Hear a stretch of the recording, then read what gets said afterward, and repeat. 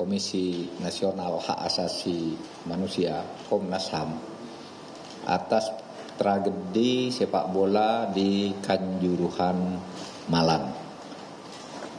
Uh, saya sudah berdiskusi, sudah paham apa semua isinya dan fakta-fakta yang menjadi pendukungnya Eh, tetapi saya tentu hanya akan menampung ini untuk disampaikan ke pemerintah dalam rangka mengambil langkah-langkah lanjutan uh, sejauh yang diperlukan, baik langkah jangka pendek maupun jangka pandang. Kalau jangka pendek itu mungkin penegakan hukum dan tindakan administratif, jangka menengahnya penyataan organisasi, jangka panjangnya perlengkapan infrastruktur yang halus maupun yang keras.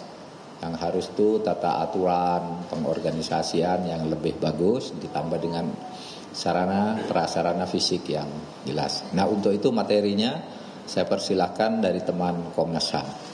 Sesudah Komnas HAM selesai nanti kita berhenti kira-kira dua menit biar orang Komnas HAM ini pulang ke rumahnya masing-masing. Saya nanti akan menyampaikan, menyampaikan pengumuman tentang Hari Pahlawan. Saya persilakan. Nanti aja.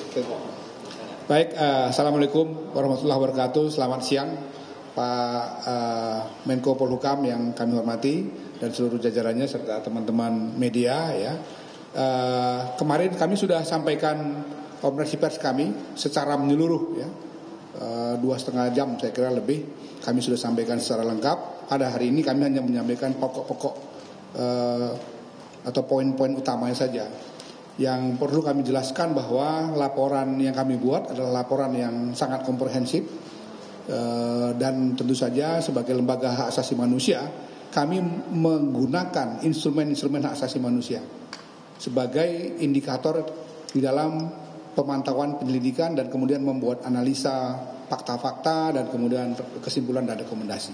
Kami juga menambahkan satu lagi instrumen asasi manusia yang uh, jarang sekali digunakan yaitu uh, business and human rights, jadi bisnis dan hak asasi manusia.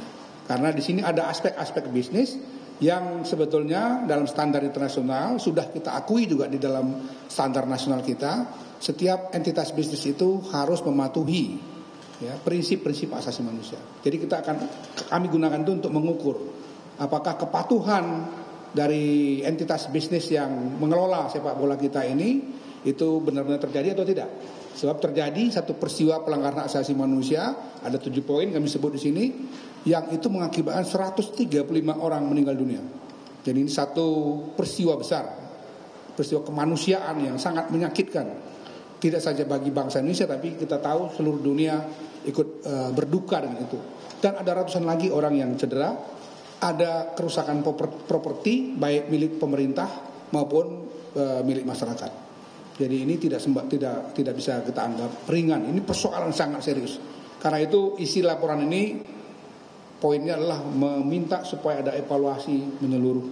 Yang itu tentu saja kita meminta pada Bapak Presiden untuk e, ikut bertanggung jawab membereskan tata kelola sepak bola kita. Yang tidak kalah pentingnya dalam laporan ini nanti Pak Anam dan Pak BK akan jelaskan lebih detail adalah soal penegakan hukum.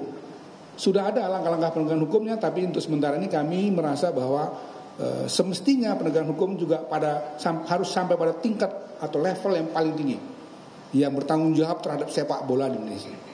Satu lagi tanggung jawab terhadap korban baik yang meninggal dunia maupun yang cedera maupun properti yang rusak apakah itu bantuan dalam arti sosial, kesehatan dan lain-lain maupun uh, pemulihan-pemulihan yang dibutuhkan oleh para korban itu. Saya kira ini secara umum ya saya akan mintakan Pak Anam menyampaikan Pak BK menyampaikan secara lebih rinci uh, poin-poin utama dari laporan kami. Sekali lagi terima kasih Pak Pak Menko. Uh, ini kalau orang nanya kenapa sih kok selalu datang ke Menko Polukam? dalam Undang-Undang 39 tahun 1999 dikatakan laporan-laporan e, penyelidikan pemantauan Komnas HAM terutama yang e, menyangkut pelanggaran HAM yang katakanlah e, terkait dengan kepentingan orang banyak memang harus dilaporkan pada Presiden Republik Indonesia. Pak Menko dalam hal ini tentu saja mewakili uh, Presiden Republik Indonesia. Itu kata undang-undangnya, jadi bukan alasan-alasan uh, lain. Nanti satu lagi akan kita lapor, sampaikan laporan juga kepada DPR RI. Itu amanat Undang-Undang 39 1999. Saya kira demikian.